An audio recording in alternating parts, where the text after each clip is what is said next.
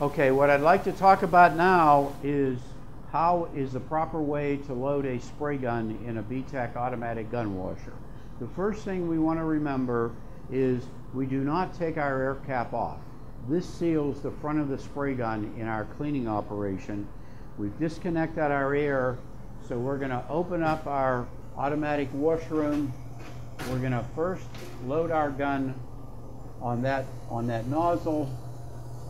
Second step is our trigger clamp.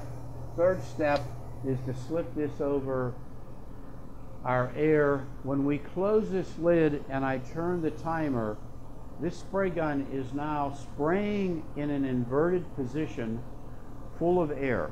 So no contaminants can ever get inside of this spray gun as long as it's in this configuration in the automatic uh, washroom. So we would simply close our door, turn our timer, run it for one minute, two minutes maximum. Again, getting in the habit of always using the air blow gun first. Remove our gun, trigger clamp off, pressurized system off, take our gun, maybe do our final blow on it, wipe it clean, and we're on to our next color.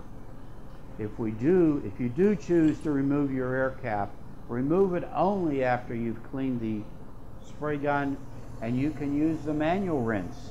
And your blowgun blow it dry a very quick way to give it a, an extra clean should you need so. Thank you